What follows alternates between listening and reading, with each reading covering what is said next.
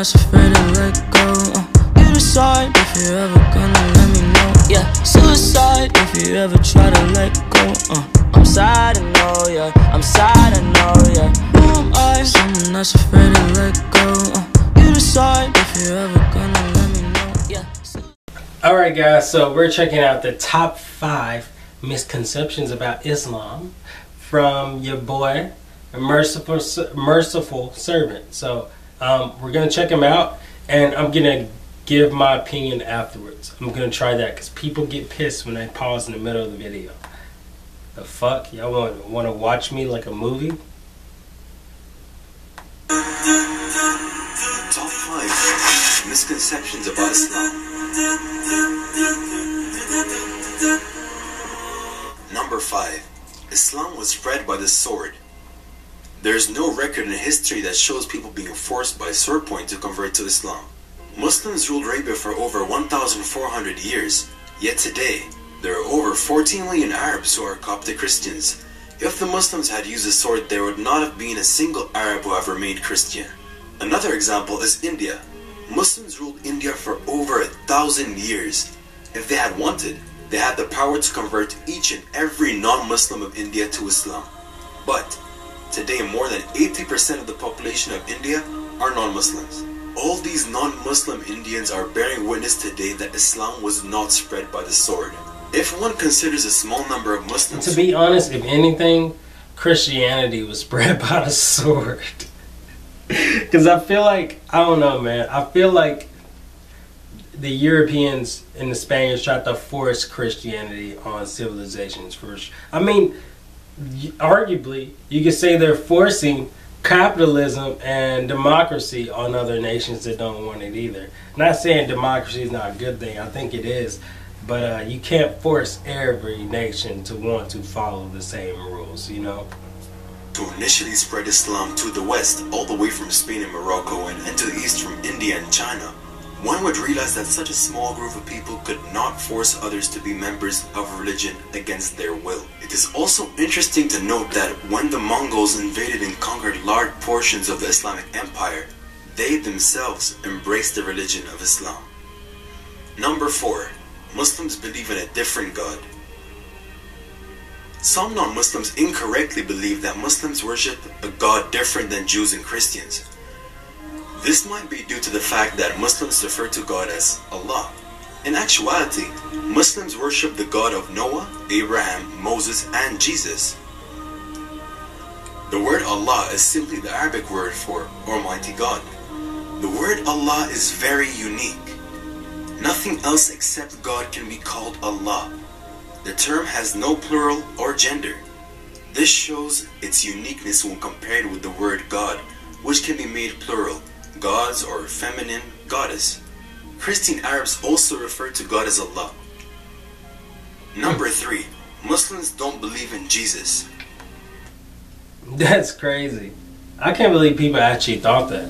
Of course they believe in Jesus. They just don't believe that Jesus is is is someone you should worship. Like in Christianity, they re, they worship Christ, uh, they they worship Jesus Christ. Whereas in Muslim in the Muslim religion, they have respect for Jesus, but they don't worship him. If that makes sense.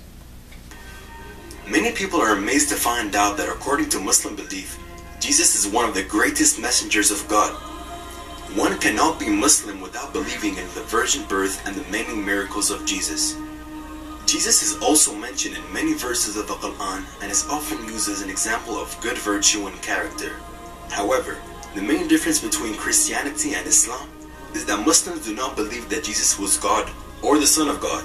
Muslims believe that Jesus was a prophet and a messenger of God. Number two, Muslim women are oppressed. One of the most if you believe that, if you believe that Muslim women are oppressed, you're fucking nuts, okay? Just because they wear a hijab, it's a fucking style. It's part of their culture. If you actually believe this, you are a dumbass, okay? But if you, you know, if you do believe that it is part of their culture and the hijab is just a, a kind of a fashion statement, I think it's it's kind of a cool fashion statement, and it's um, It's part of their culture. If you believe in that, then good. But if you actually believe that they're oppressed, you're crazy. You're crazy. Disturbing misconceptions is a negative portrayal of women in Islam. Namely, that Islam degrades and oppresses women. This misconception is due to the negative culture and traditions that people all over the world still hold on to. Unfortunately, these traditions sometimes overshadow the Islamic teaching and people from the outside believe that the traditions and Islam are the same when in reality, they are not. For example, women in pre-Islamic Arabia had almost no rights. They were viewed as objects and were constantly humiliated. Their purpose was nothing more than to obey men and have children for him. When a female baby was born, it was considered a disgrace to the family and they were often buried alive. Islam brought positive change to Arabia, people who embraced Islam had to let go of these harmful cultural practices. Wait, they buried. What, what the fuck? And women were finally given the rights and respect that they deserved. For every male convert to Islam today, four females convert to the religion. Nobody will convert to religion that oppresses them. The truth is that Islam provides women with the rights they deserve to be successful in this world and the next. Number one, Muslims are terrorists and extremists. Yeah, no, this that's not that's not true. That's not true either. They're not. I mean, you have some radical Muslims, but you also have some radical Christians. You have ra- you have crazy people in every group. Okay, I'm not religious, but there's crazy people in every race too.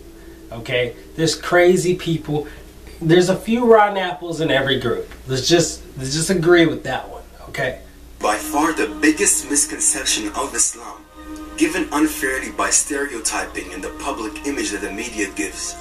Has anyone else noticed how when a specific group of people attack another group of people, it is labeled as a hate crime? But when a Muslim opens fire on anybody, it is quickly regarded as terrorism. Many political dictators and officials or extremist groups use the name of Islam as a strategy to gain followers and attention when many of their practices go against the teachings of Islam. Islam does not support terrorism under any circumstances. Terrorism goes against every principle in Islam, and if a Muslim engages in terrorism, he is not following Islam. Islam prohibits Muslims from attacking or killing any innocent person. Allah says, Whoever kills a person unjustly, it is as though he has killed all mankind. In Quran chapter 5, verse 32. If you enjoyed I hope this video clears some misconceptions. I hope I spreaded that. And uh, thanks so much for watching. Um, but yeah, think twice, guys. If you are one of those people who thought wrong about Islam, you need to get your shit together. Because uh, Islam is not no evil. There, there's way worse things out here. Trust me. Anyways, guys, if you enjoyed this video, thanks so much for watching and peace. Hey guys, make sure you purchase the Merch Wise Hot Boy and make sure you click the link in the description, man. What are you waiting for? Make sure you turn on post notifications, subscribe, and check out the latest videos in my music and the merch link and other stuff I will see you guys tomorrow. Thanks for the support.